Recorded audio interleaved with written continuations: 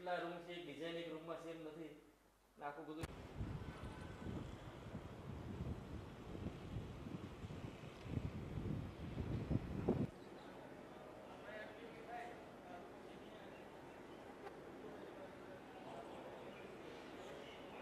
આખું છે આખું આખું જે મહેલ. એ આખું આપણે ભાવનગર બનાવી દીધું ખાલી બનાવેલું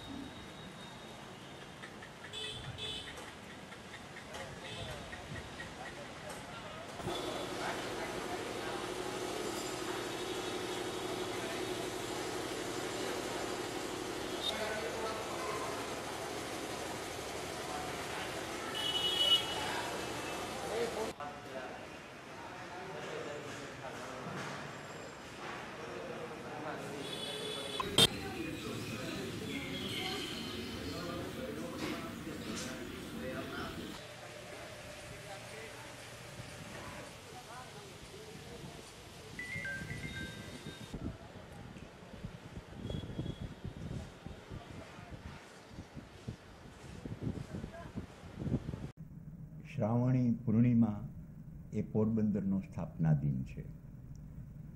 પ્રાચીન કાળમાં સુદામાપુરી તરીકે ઓળખાતું આ શહેર અર્વાચીન કાળમાં ગાંધીપુરી તરીકે પણ ઓળખાય છે. આ શહેરનો ઇતિહાસ અતિ પ્રાચીન છે.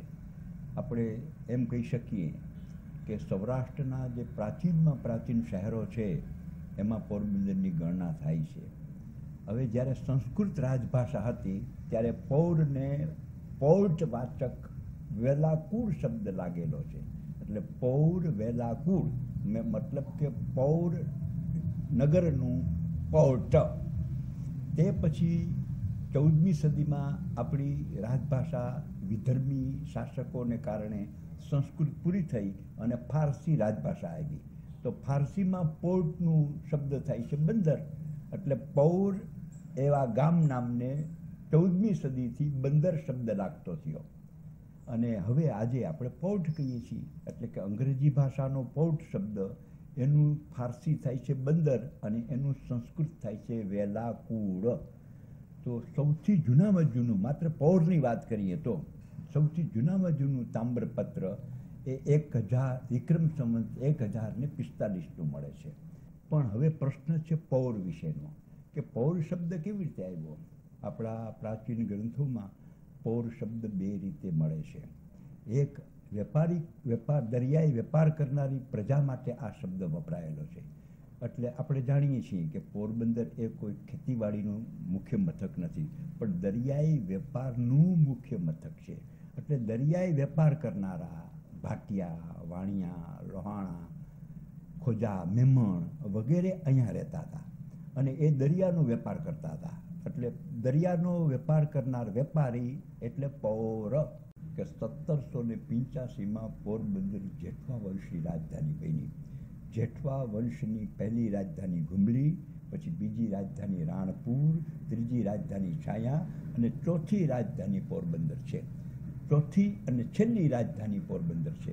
ઓગણીસો સત્તરસો પંચ્યાસીમાં પોરબંદર રાજધાની બની અને ઓગણીસો ને અડતાલીસના ફેબ્રુઆરીમાં પોરબંદર સ્વાતંત્ર્યને સોંપાણું. એટલે કે આઝાદી મળી ગઈ એ આપણા હિન્દ, જે સ્વતંત્ર ભારત બન્યું, એમાં એનું વિલીનીકરણ થયું. પોરબંદરમાં આજે છેલ્લા દોઢસો વર્ષ અઢારસો ને ચાલીસથી પોરબંદરમાં સુદામાના મંદિરમાં બધા જ ભેગા થતા.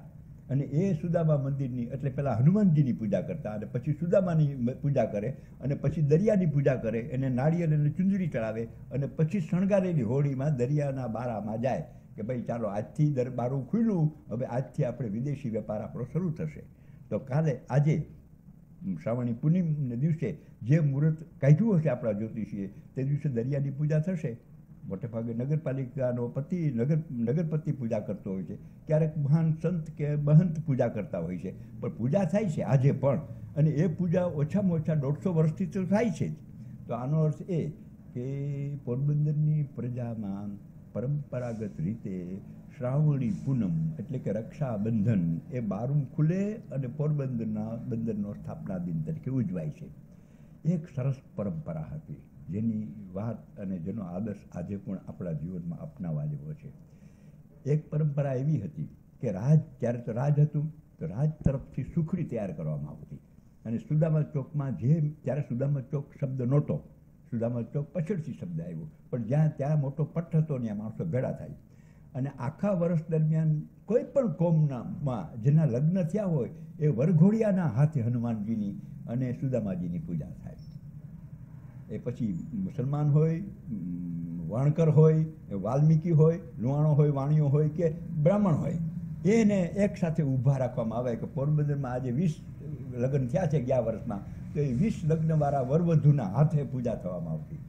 આ બહુ જ અદ્ભુત આપણા દેશની અને આપણા શહેરની એકતા માટે, એની એની સર્વધર્મ સમન્વયની ભાવના માટે અને એક આદર્શ માટે બહુ જરૂરી પ્રથા હતી. મને તો ઘણી વખત લાગે છે કે નગરપાલિકાએ ફરીવાર શ્રાવણી પૂનમને દિવસે નવલોહિયા જે ગયા વર્ષમાં જેના લગ્ન થયા છે, એને હાથે પૂજા કરાવવી જોઈએ.